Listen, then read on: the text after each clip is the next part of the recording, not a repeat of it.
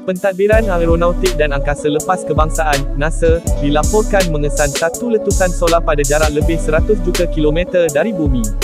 Lapor laman berita Metro UK kemarin. Letusan tersebut dirakam oleh Balai Cerap Dinamik Suria SDO pada 20 Januari lalu. Imej letusan solar itu adalah seperti kilat terang yang muncul di sebelah kanan matahari. Fenomena dirakam ketika kerja-kerja pemerhatian biasa dilakukan. Letusan solar atau suar suria boleh memberi kesan terhadap komunikasi radio, grid elektrik dan isyarat navigasi di bumi serta berpotensi membahayakan kapal angkasa dan angkasawan.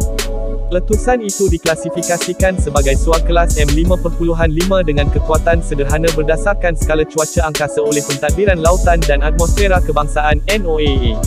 Pada asasnya, letusan solar adalah pelepasan sinaran elektromagnet secara besar-besaran yang bergerak pada kelajuan cahaya. Ia cukup kuat untuk mempengaruhi gelombang radio, elektronik dan teknologi di bumi. Suar suria juga berpotensi memadamkan komunikasi radio berfrekuensi tinggi selama beberapa puluh minit pada bahagian bumi yang diterangi cahaya matahari. Komunikasi radio berfrekuensi tinggi yang berisiko terjejas adalah jalur daripada 3 MHz hingga 30 MHz. Bagaimanapun, ia tidak menjejaskan sistem pengesanan global GPS pada telefon pintar atau kebanyakan teknologi navigasi moden lain.